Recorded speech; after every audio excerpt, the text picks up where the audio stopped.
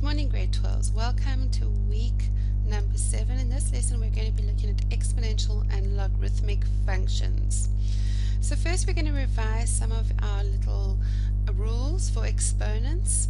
So we know that a to the 0 is 1. So that means that anything to the 0 is 1. I can say 6 to the 0 equals 1. 7 to the 0 equals 1. Anything to the 0 equals 1 a to the m times a to the n is equal to a to the m plus n. Example, if I have x cubed times x squared, that becomes x to the 3 plus 2, which is x to the 5. And if you just want to remember why that is, this bit here becomes x times x times x, and this bit here becomes x times x, and if you add them up, you end up with x to the power of 5. So that's where you get that rule from.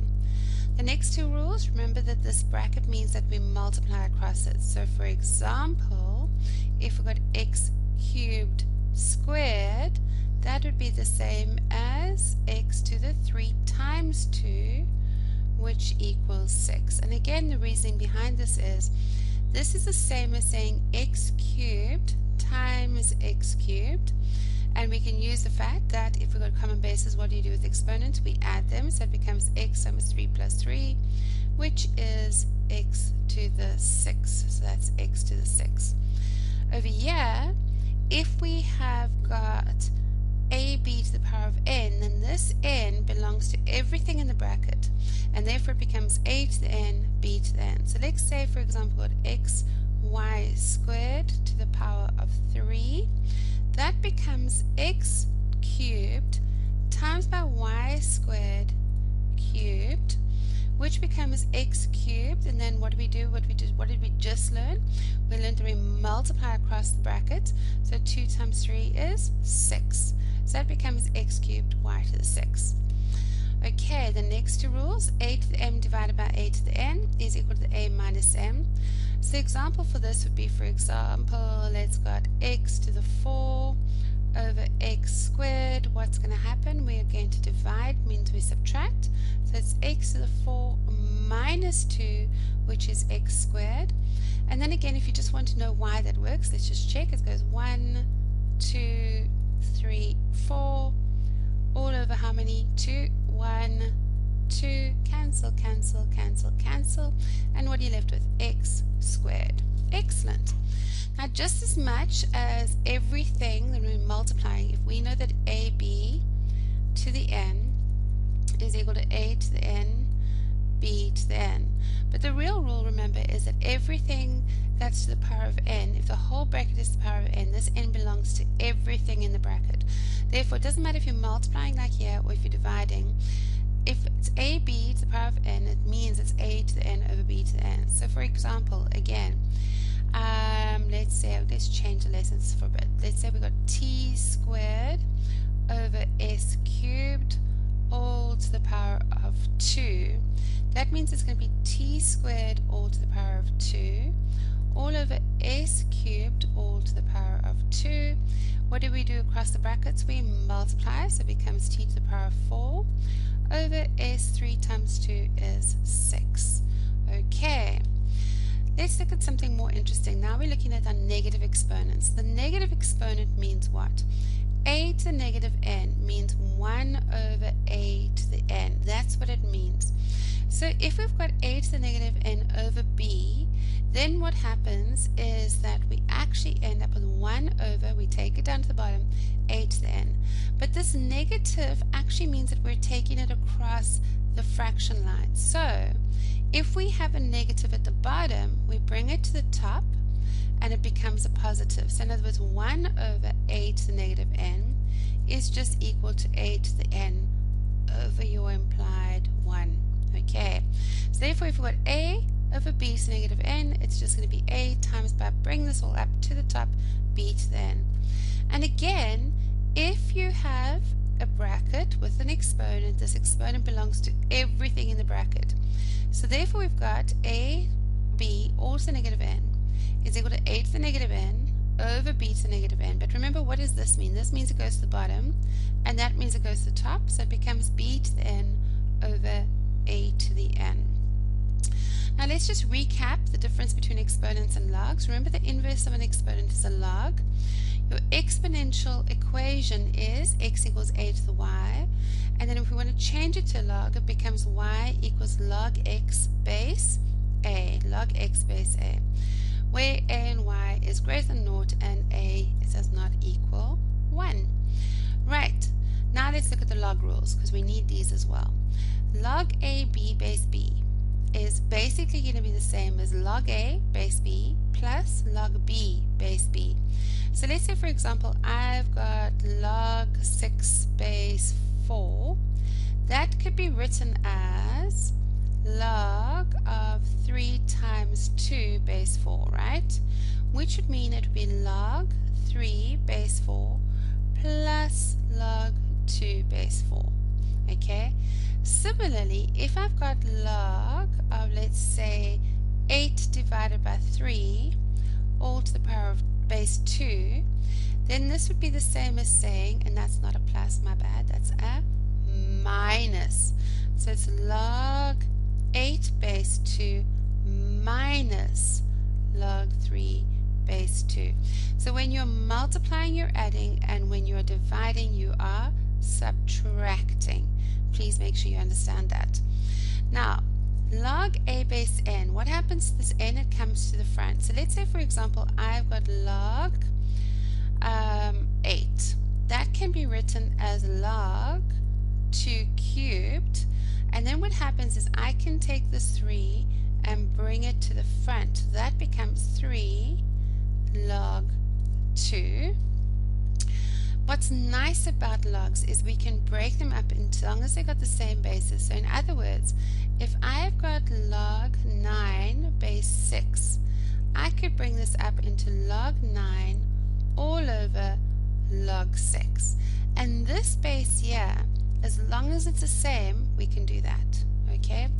And log a base a is always equal to 1. It doesn't matter what it is. If I've got log 43 base 43, that answer is going to be 1. End of story. So now let's look at an inverse of an exponential graph example. We've done this already using the previous examples of exponential graphs, but I just want to make sure you understand that logs and exponents are inverse of each other. So in this case, we're looking at the graph of y is equal to half x.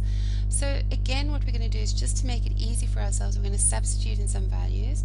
So when x is naught, anything to the naught is 1. So when x is naught, I mean when x is not y is 1, yes. When x is 1, y is a half. When x is 1, y is a half. And then let's talk about this when x is minus 1.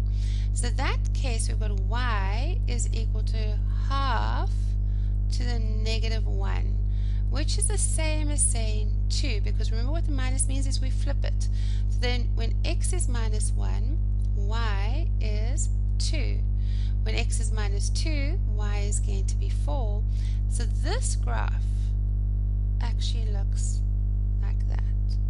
And that is my exponential function. Okay? And that is my y is equal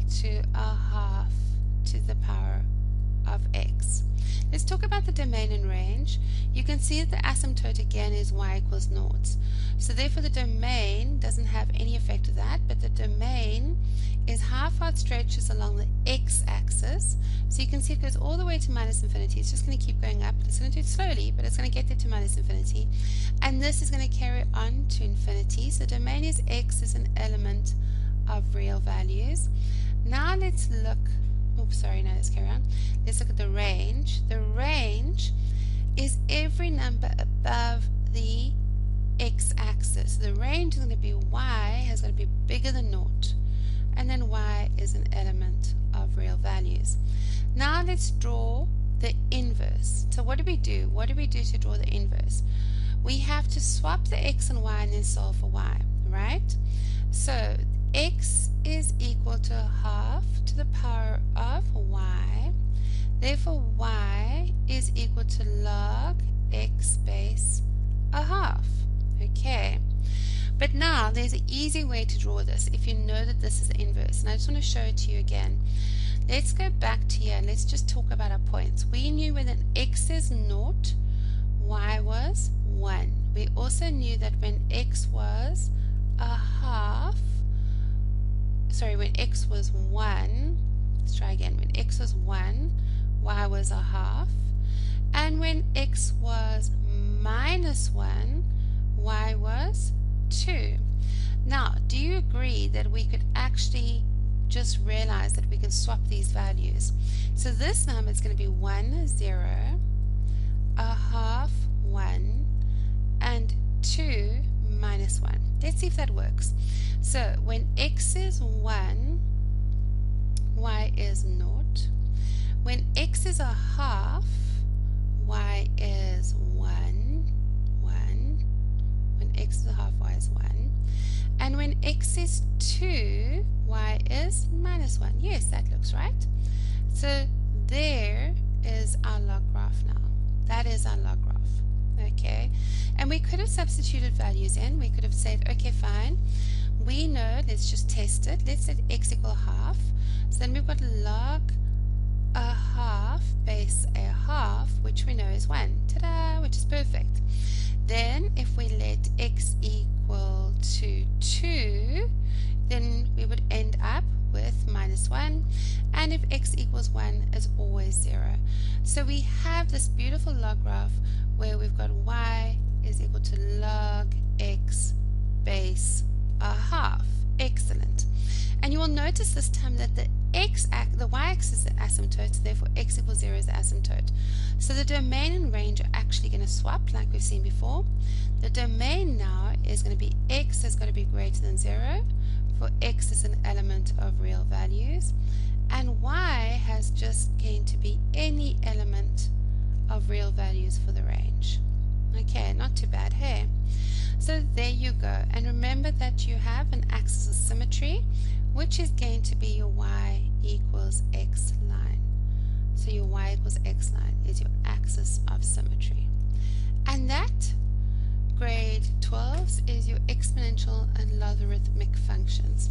Please go practice, make sure you know how to convert between the two, understand that the domain and range are swap, and please go make sure you understand and can apply the log laws. Have a great day.